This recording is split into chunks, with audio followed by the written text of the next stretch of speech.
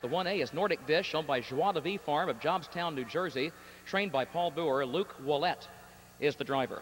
Number two, Cartier Hall, is owned by Joseph Mendelson of Santa Barbara, California, trained by Doug Ackerman. His son, D.R. Ackerman, is in the bike. Number three, Limitless Sky, is owned by Al Libfeld, Marvin Katz, and Sam Goldband of Ontario, trained by Chuck Sylvester, the driver, John Campbell. Number four, Norway But My Way, owned by Stein Soley, Joe Sirocco, and Per Clausen of Florida, Ohio, and Norway, trained by Arnold Egan, Tony Morgan in the bike. Number five, CR Ms. American Pie, is owned, trained, and driven by Rod Allen of Ocala, Florida. Number six, Chips Tally, is owned by Jack Gray Jr. of Burgin, Kentucky, trained by Jack Gray, the driver, Jim Robinson. Number seven is Malabar Mist, owned by MCB Farm of Paramus, New Jersey, of Malvern Burroughs, trained by Jimmy Takter. Mal Burroughs will drive.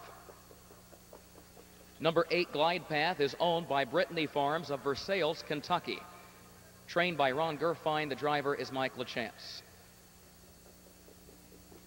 And number nine, Mars Bar, owned by the Armstrong brothers of Englewood, Ontario, trained by Jimmy Takter, and Jimmy Takter is the driver. The fourth race, first trip of the Filly World Trotting Derby, is less than five minutes from post. They're at the post, and the gate is rolling.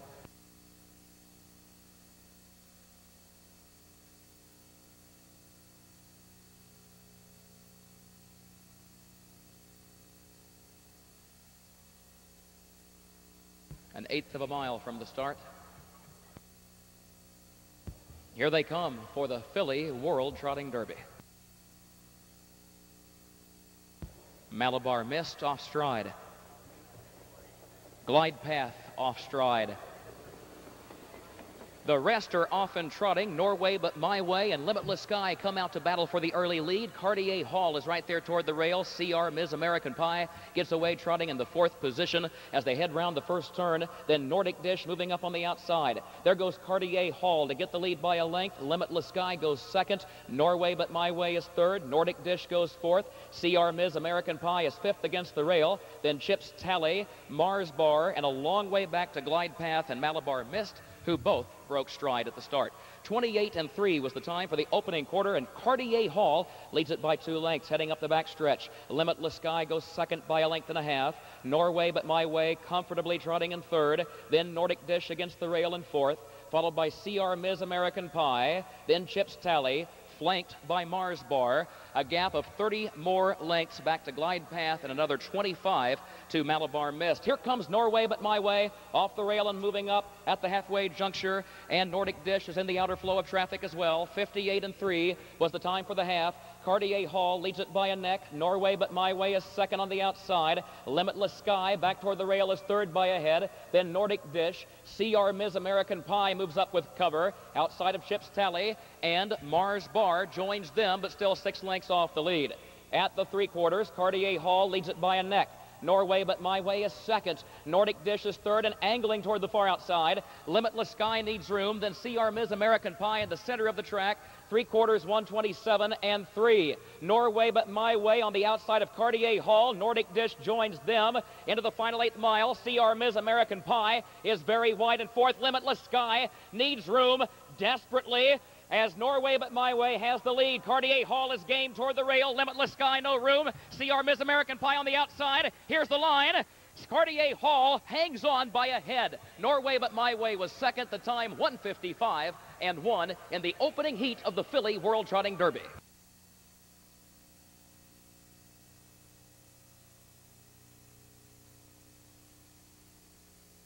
It's a photo finish for the win. Hold all tickets.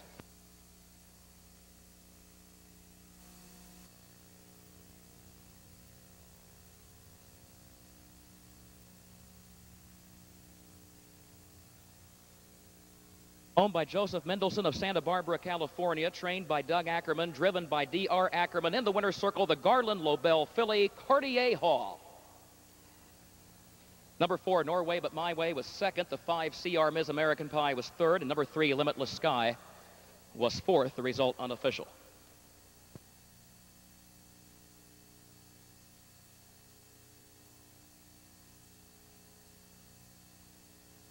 Let's talk to our winning driver, D.R. Ackerman.